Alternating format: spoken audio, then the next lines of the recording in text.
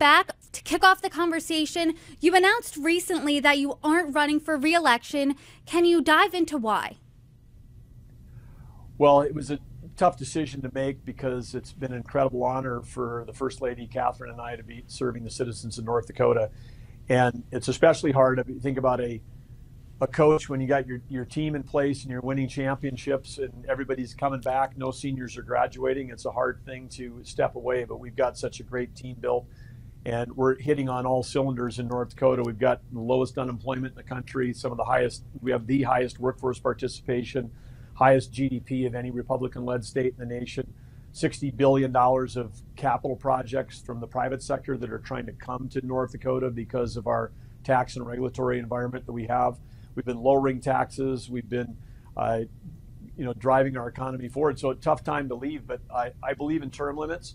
Uh, we don't, we didn't have them in North Dakota. We got them passed on the ballot during the time that I was in office, and I've served two terms, and we're charging ahead. We have about 270 days left till next December, and we're going to make make every day count. And then, uh, of course, I came from the private sector. I was working in the private sector right up to the day before I got sworn in as governor. And that's the, the one thing I can control is going back to the private sector. But meanwhile, uh, we're doing everything we can to make sure that uh, President Trump wins in November because I know as a governor, have a front row seat of what it was like to serve first four years under President Trump and now under the Biden administration. And Biden administration, it's all headwinds uh, for a state like ours, agriculture, energy, technology the amount of regulation that's being poured on us uh, out of Washington, D.C. is almost incomprehensible. Doesn't make any sense from a policy standpoint, but it's a that's that's a battle that we have to fight. It's a battle that I'm fighting this year, uh, helping to uh, campaign for President Trump because uh, North Dakota and the United States can't take four more years of Joe Biden.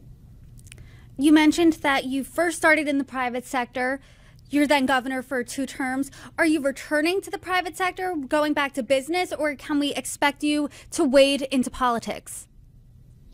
Well, I'm going to choose a path where I can have the most impact. That's what brought uh, Kathryn and I into uh, running for governor in the first place. Was we realized, uh, you know, from the business standpoint, there's great things that business can do, and if you're successful, uh, we were blessed with with that kind of success that we were able to do some philanthropy. But I realized, wow, uh, government spends so much money. Even in a little state like North Dakota, our budget uh, just for K 12 is $2 billion uh, every biennium.